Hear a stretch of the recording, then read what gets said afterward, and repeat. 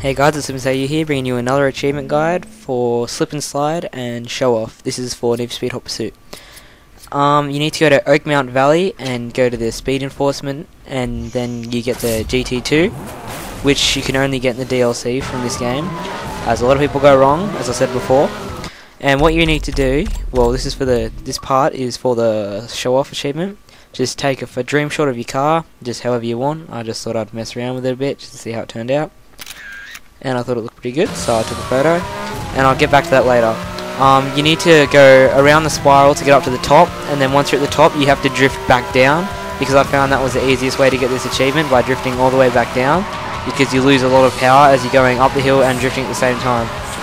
So you just finish off this drift, and you pretty much need to drift the whole thing to get the 900 meters or 1,000 feet, feet drift, which is right now.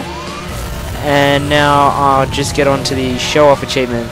Um, what you need to do, you need to quit to your Autolog, as I do right here, and then go to your photos in the main menu, and you need to hit Y to share and just type whatever, and then press done, and when it uploads to your wall, you have your achievement.